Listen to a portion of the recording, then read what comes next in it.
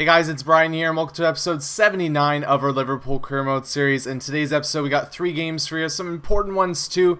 But before all that, sorry for the wait on this episode. We will get Season 4 done before FIFA 14 comes around, before NHL 14 comes around too, and all that demo stuff. So there'll be a little bit of a fast-paced action with all the episodes that should be coming out in the next little while. I have to kind of gauge overall how many games we really have left in the season. Probably uh, not a massive amount, maybe three or four five episodes left in the season for us here.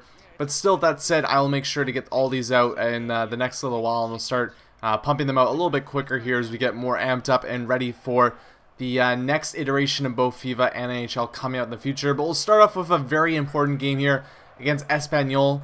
As you know, we faced them the first leg away from home, had a very tight game against them, wasn't able to pull out a goal there away from home, but also kept them from scoring two, which is good. So Nil-nil was the leg, and uh, we went to the second leg here, hoping to get something going for us.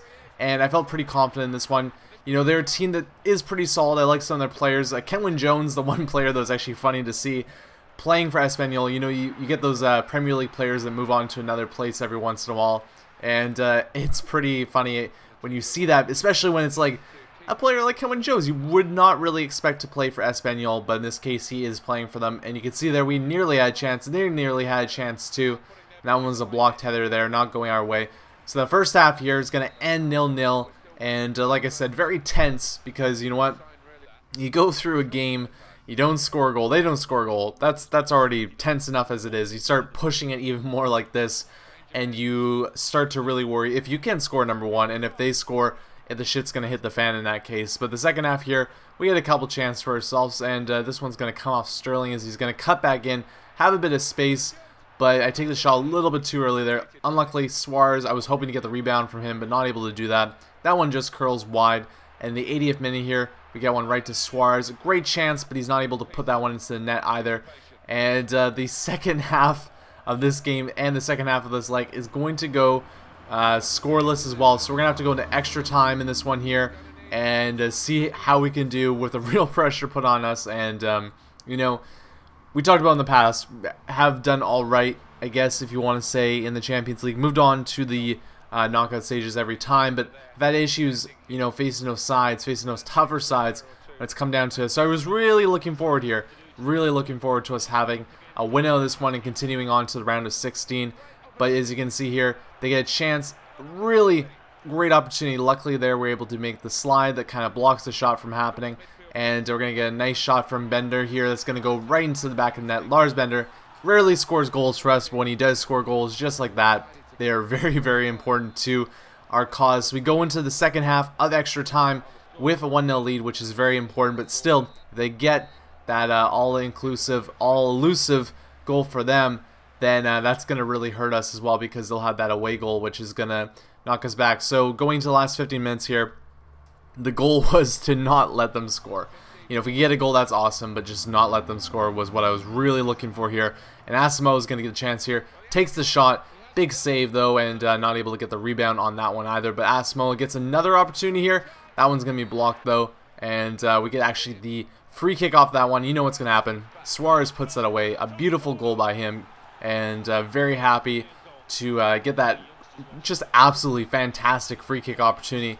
And I did the little uh, replay there of the inside the net cam to show you that that one found the corner as close as possible instead of uh, you know hitting the bar or anything like that. So we're gonna go up 2-0. and That's gonna be safe enough for us here to get the win, the very important win. So we're gonna move on to the round of 16, where I'm not sure who we're gonna be playing, but it should be uh, a lot of fun, and hopefully we can keep on pushing on in uh, this last season of our Liverpool career. And I mean, we're doing all right in the league, but the league and the Euro League are going to be our two main focuses going down the stretch here. And I mean, we, we got FA Cup games. We lost the Capital One Cup opportunity that we had, but the main focus here is going to be moving on to those ones there. Actually, yeah, we're going to be playing against Chelsea, so probably one of the hardest teams that is in the round of 16 we get matched up against, which is a little bit unfortunate. Uh, but you know what?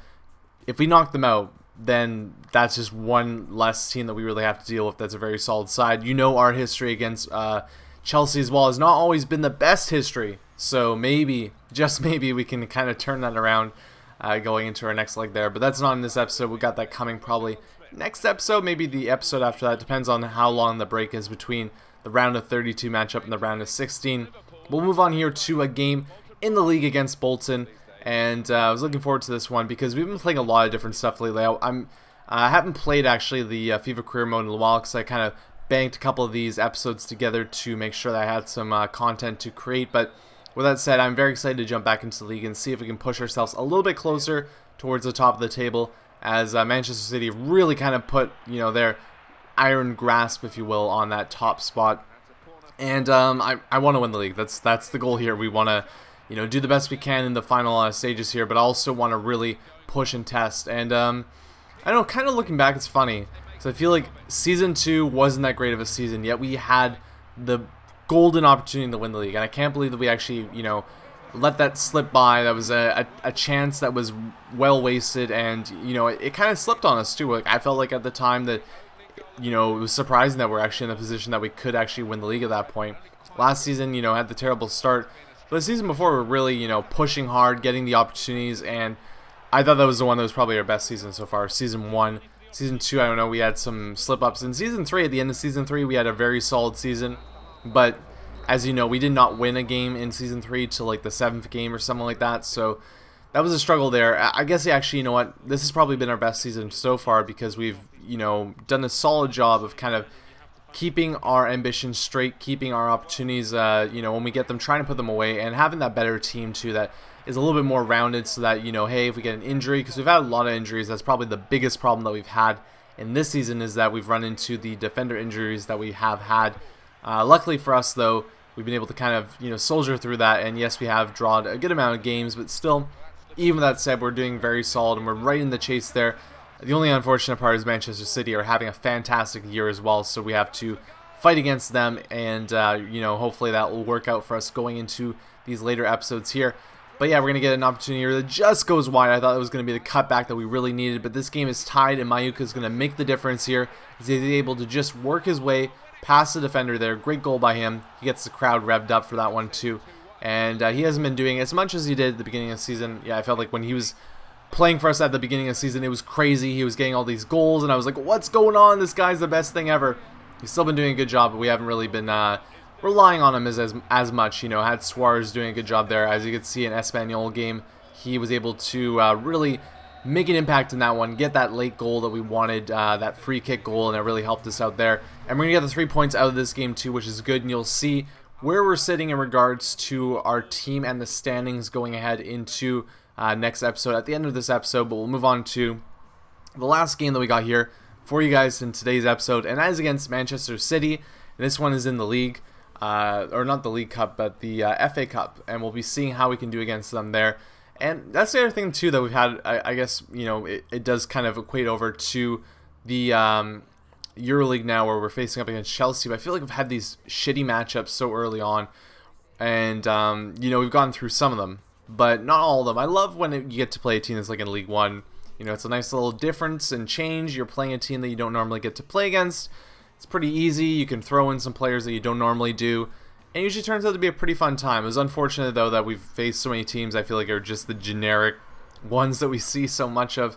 Uh, yeah, so, you know, going into this one here, I think we're in the quarters of the FA Cup, but still, uh, you know, facing up probably against the best team in the league, if not maybe in the uh, whole of FIFA right now. We've just really um, had had struggles, I guess, against uh, them and Chelsea the most this season out of any team, but I was hoping to get a good game here, get a you know a good matchup because it's also a barometer matchup too, right? You know when you play a game like this, when you're facing up against a team that you know is this good, you're like, okay, this is a game that we're going to be going into where we know that they are better than us maybe, or they are at least on par of us, so that if we can do the best we can, it's going to really kind of give us an idea of where we stand in regards to what our chances are of beating them or getting past them in the league.